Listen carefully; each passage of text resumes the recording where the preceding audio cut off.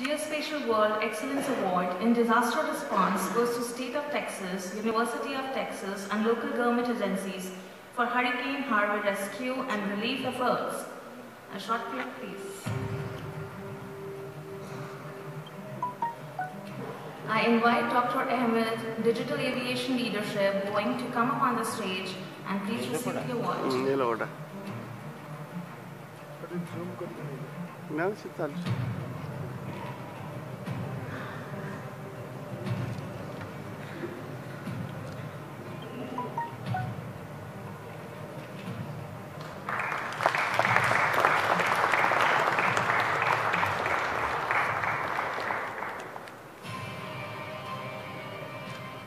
Congratulations, Dr. Ahmed.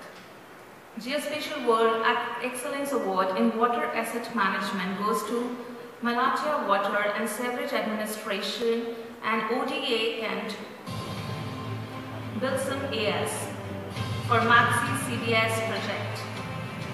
I invite, I invite Mr. Census, Head of IT